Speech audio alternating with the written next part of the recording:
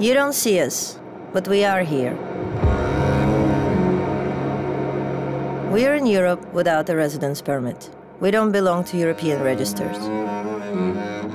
Officially, we don't exist.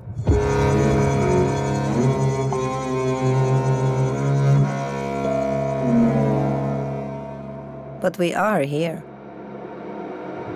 There are millions of us in the European Union.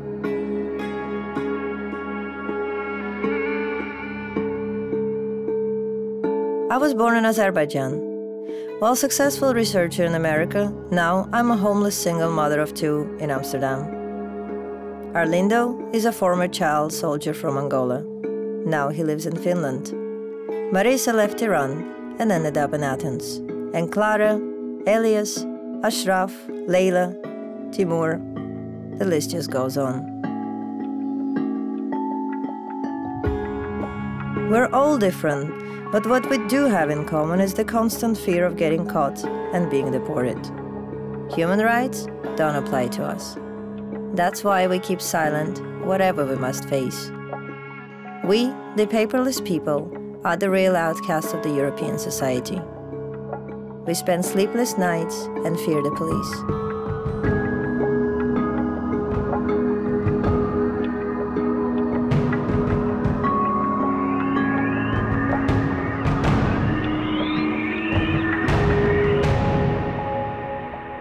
We are not criminals.